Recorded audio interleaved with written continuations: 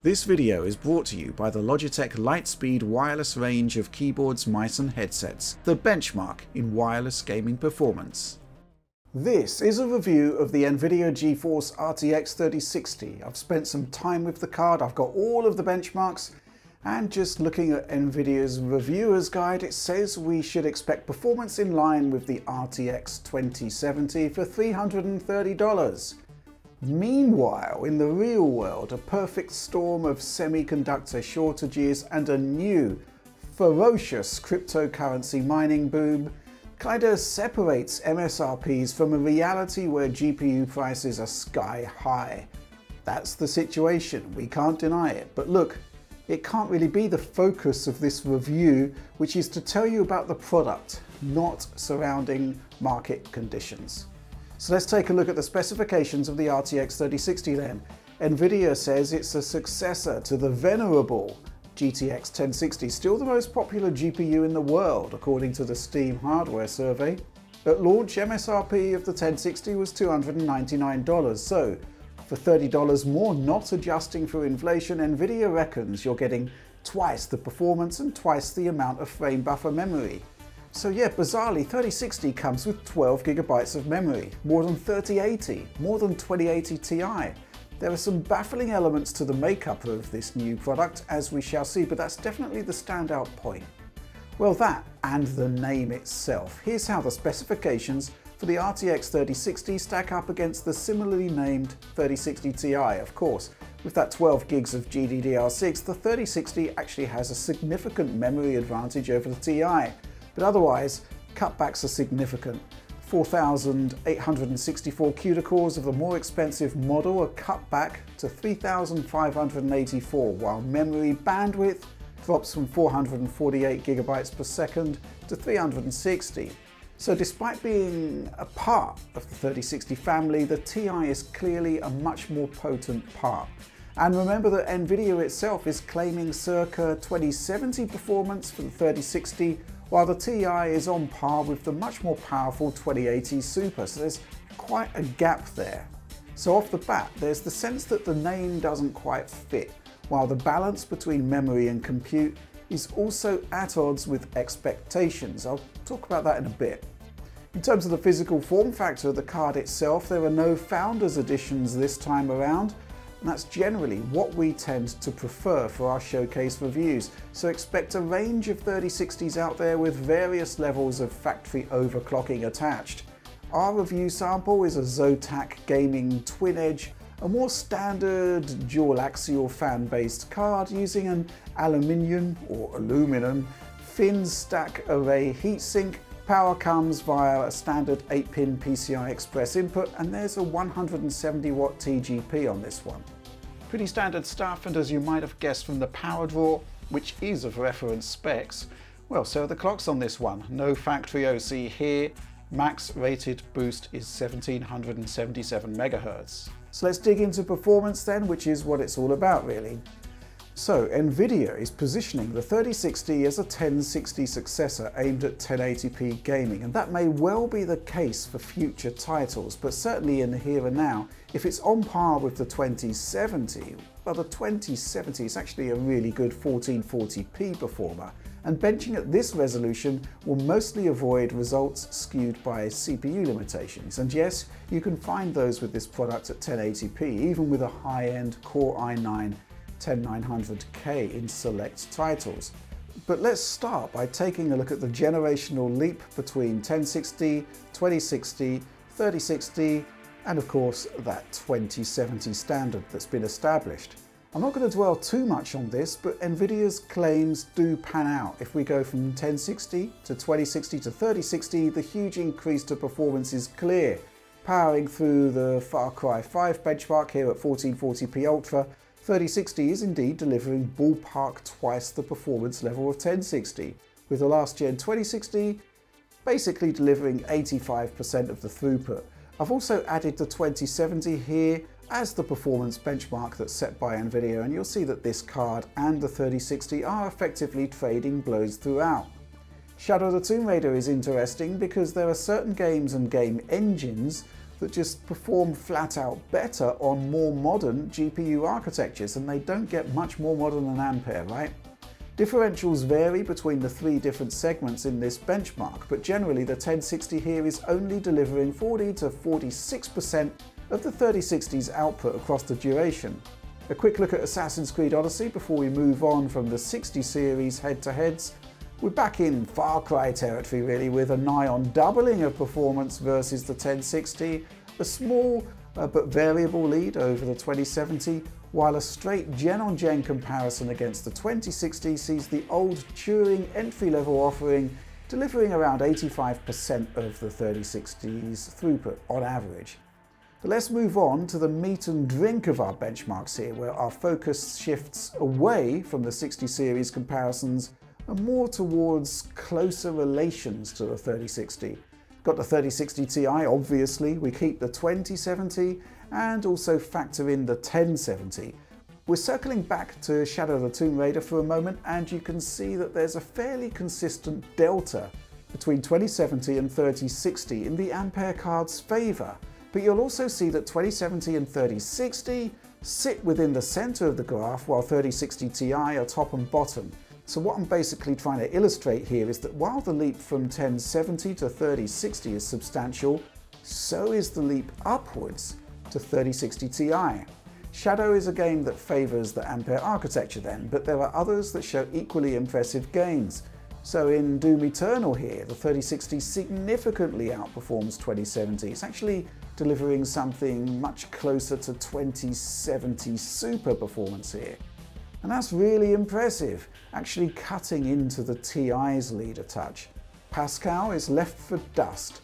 Uh, Nvidia reckons the 3060 is twice as fast as 1060, but here is pretty much twice the speed of the much more capable 1070. Remedy's Control next. A touch academic as a benchmark here perhaps, as we're benching without DLSS in order to create a consistent repeatable experience across generations and across GPU vendors. Uh, but we will look at DLSS in a bit. But still, 3060 dukes it out with 2070, moving ahead marginally but again delivering a 74% advantage over the 1070, or to put it another way, the 1070 offers just 57% of RTX 3060's output. But yeah, 3060 Ti, it's 31% faster than the new card, a gap comparable to the frame rate increase moving from 3070 to 3080. Rounding off the super performers, we have the unlikely next-gen GPU battleground that is Borderlands 3. It's always been a demanding game and also it's a pretty impressive Unreal Engine 4 showcase, so yeah, very much a modern engine, Ampere friendly. There is a small performance uplift over the RTX 2070, but it is interesting to see that Pascal keeps pace a bit more closely this time around. 1070 delivers 69% of 3060 performance. In the 3060 family of GPUs, again, the gap here is huge. There's a big, big 36% increase uh, between 3060 and 3060 Ti.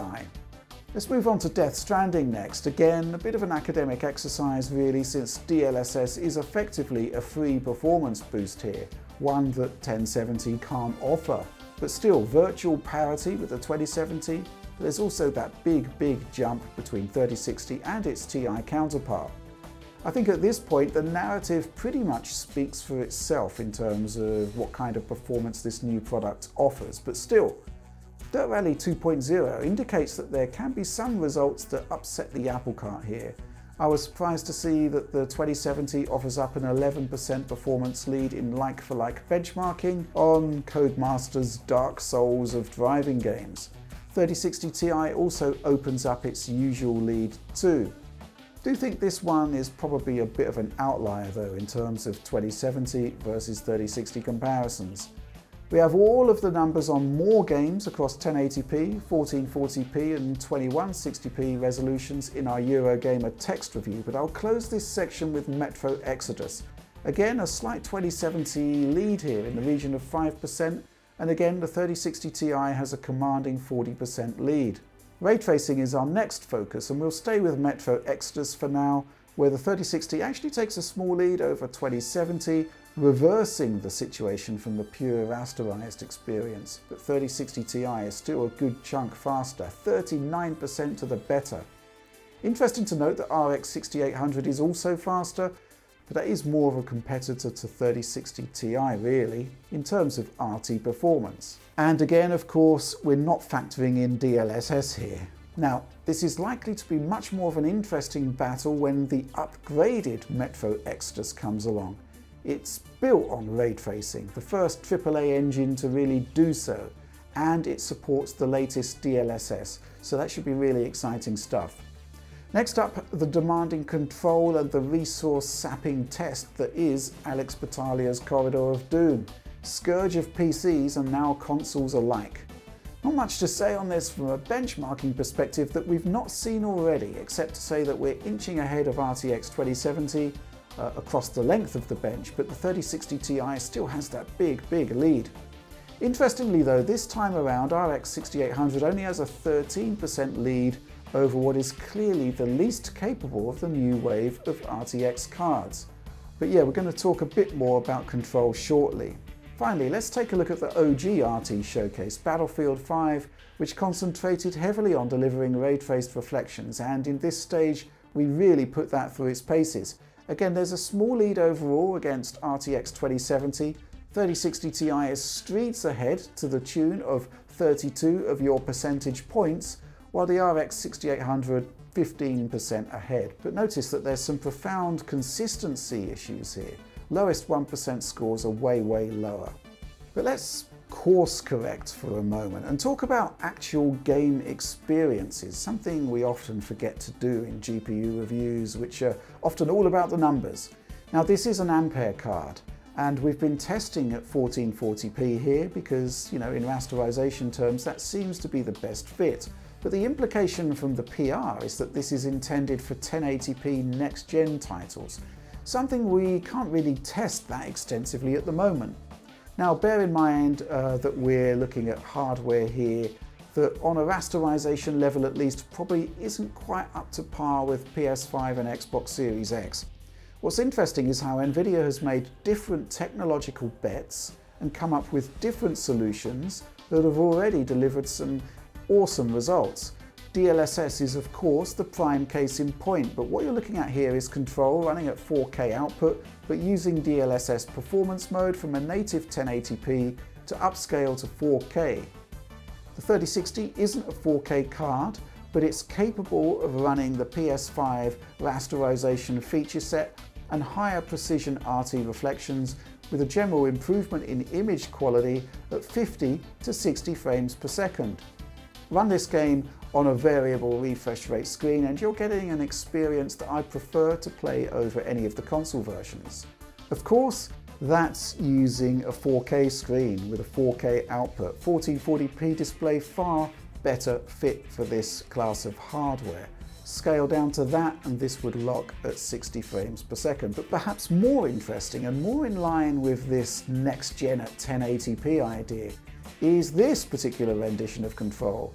DLSS up from native 720p, equivalent to DLSS quality mode basically, and we can run the game virtually locked at 60 frames per second with all ray tracing effects enabled, which you don't get on the consoles at all. So you're getting the total package here at 1080p 60. It's pretty awesome. Another example here is Cyberpunk 2077. You don't really get more next gen than that right now. I'm using DLSS performance mode at 1080p output resolution with Alex's optimized settings, RT lighting engaged, and while it doesn't lock to 60, clearly, again, a VRR screen will produce a very pleasing effect, and again, you won't get anything like this on consoles as things stand. Of course, we are leaning somewhat on DLSS here, but make no mistake, AI has a huge role to play in the future of gaming and it's already starting to pay off, clearly. One final component of the 3060 is the inclusion of resizable bar, which essentially allows for the CPU to more directly access graphics memory on the GPU, reducing PCI Express bottlenecks and improving performance. We've already looked at early work here from AMD and while results were muted at higher resolutions, we saw promising stuff from 1080p and 1440p. RTX 3060 is the first NVIDIA desktop card to support it, and yup, assuming you have a supported motherboard and CPU, you get a free performance uptick, the extent of which will depend on your components and the game. I'm using our 10900K test system here with an ASUS Maximus 12 Extreme motherboard, which does support resizable bar. And yes, it works here with the 3060. Battlefield 5 is by far the biggest performance uplift in the three games I tested. A 17% performance boost at 1080p, 15% at 1440p. Interestingly, I saw a similar rise to frame rates on AMD in this title too. Now other games are supported and they need to be validated and whitelisted at the driver level by NVIDIA. But here in Metro Exodus we're getting 2 to 2.5% of extra frame rate, so not really a big deal as such, but well, nice to have I guess. Meanwhile, in Watch Dogs Legion, there's a 5% increase at 1080p on Ultra, dropping to around 3.5% at 1440p. Early days for this technology and clearly some titles will benefit more than others, but intriguing nonetheless. So let's wrap everything up then. It's a difficult one because there's the sense that 3060 Ti and upwards have really brought the value in terms of straight gen-on-gen -gen comparisons between Turing and Ampere. As I've mentioned, 3070 is the new 2080 Ti, 3060 Ti matches 2080 Super, and then there's a big gap in the drop down to the standard 3060. So I guess what I'm trying to say is, well, this is obviously a great upgrade product if you're an owner of a GTX 1060. But let's say that we could live in a world where the 3060 and the 3060 Ti could actually be purchased at MSRP. It's difficult to ignore just how much more you get from the Ti, even if it has less memory. It's a bit of a tricky one for sure. If it was possible to get 8 gigs onto the 3060 and bring the price under $300, that would sure make a lot more sense. But the memory interface makes that tricky I guess the way to sum this up is to say that the 3060, clearly a huge upgrade over the 1060, no doubt about it, and really I'd say it's time for an upgrade there. And in that sense, the value is obvious, assuming MSRP is doable of course, but it does highlight the price performance sweet spot of the TI which is a class apart, despite the naming suggesting that performance is a lot closer than it actually is. And of course, it would be remiss of me not to mention that an AMD RX 6700 and 6700 XT, they're apparently on the way next month. And a resurgent AMD has clearly brought options to the higher performance bracket thanks to the RDNA 2 architecture. We've seen more modestly sized GPUs based on the same technology handing in impressive results on PS5 and Series X. So it's going to be intriguing to see how they stack up against the 3060 here. But until then, that's all from me. Please, as usual, like, subscribe, share, and ring the bell for the full power of instant notifications. The DF Patreon membership has its privileges, and uh, specifically, this gives you access to the DF Discord and pristine quality video downloads of everything we do. But that's all from me for now. Thanks for watching and supporting Digital Foundry. A breakthrough in design and engineering, the G915 features Lightspeed Pro-grade wireless, advanced LightSync RGB, and new high-performance, low-profile mechanical switches. Meticulously crafted from premium materials, the G15 is a sophisticated design of unparalleled beauty, strength and performance. Meet G15 Lightspeed and play the next dimension.